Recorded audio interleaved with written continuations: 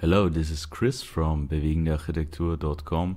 Today uh, we want to show you how you are able to draw contemporary ornaments.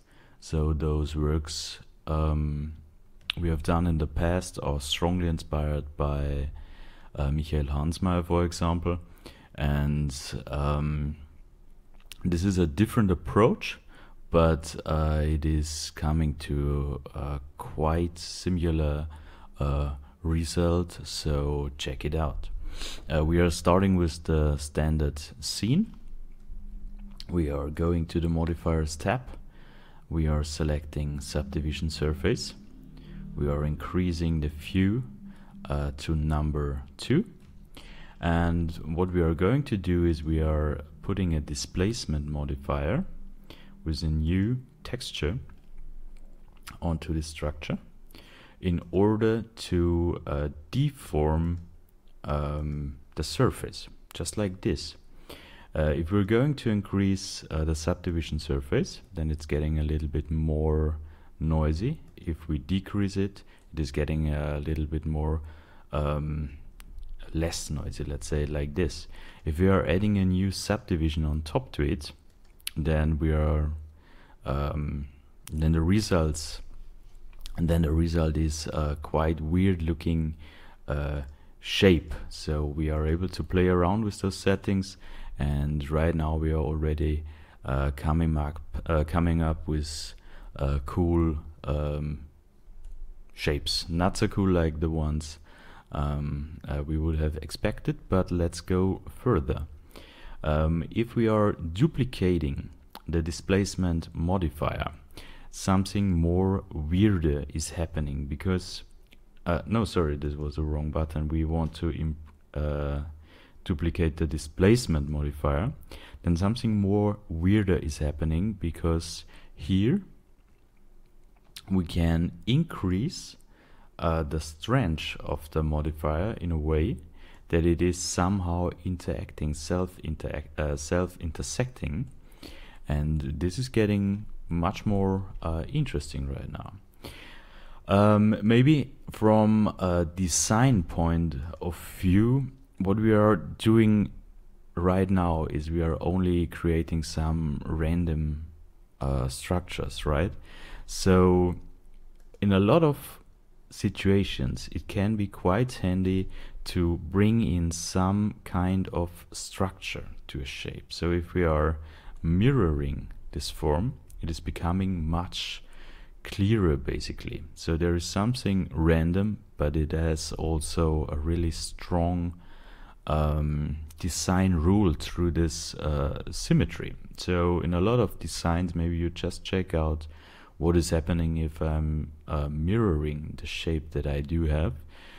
Uh, am I able to produce more precision with this or uh, is it is it getting worse? So maybe you have to decide on your own. Uh, right now the mirror axis is in the middle of the structure.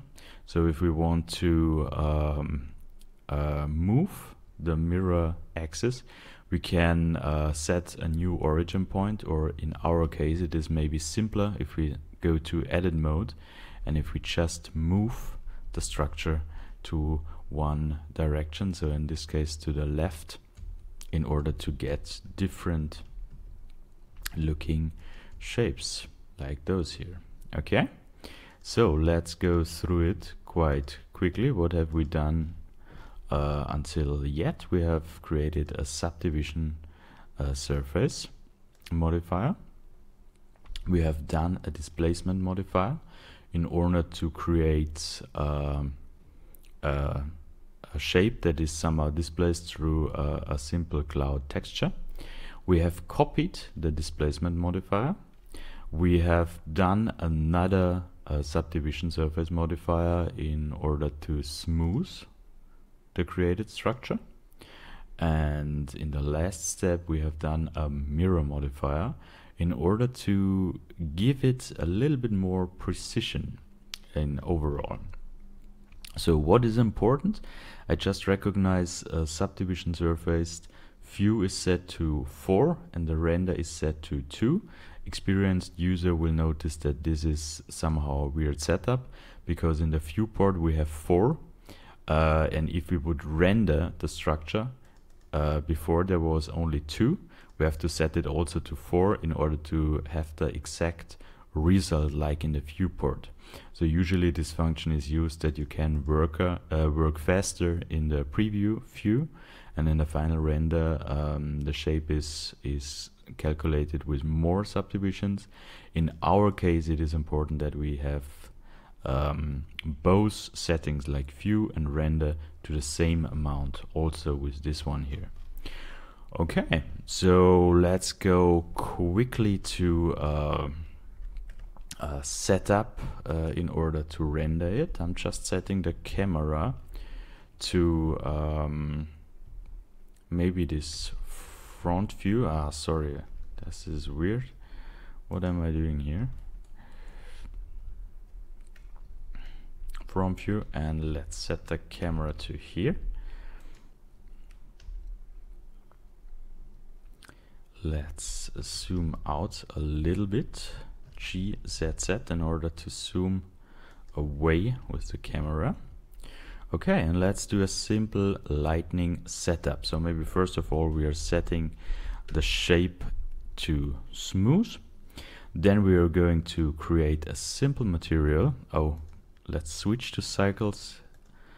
Before we set up the material, we simply set it to uh, let's go to a velvet um, material. We're setting the world to a simple sky texture. Maybe let's put the sun from the top right. Uh, I have experienced that uh, this one is giving a little bit better results but maybe this is just my own experience. And let's do a quick preview. Okay this is looking quite okay. I am disabling the background uh, when switching to transparent and I'm going to render it out. Um, hopefully you have enjoyed um, okay sorry maybe this is taking too long I have to switch to the graphics card hopefully you have enjoyed this uh, video stay tuned for others and Please check out also our projects at bewegendearchitektur.com.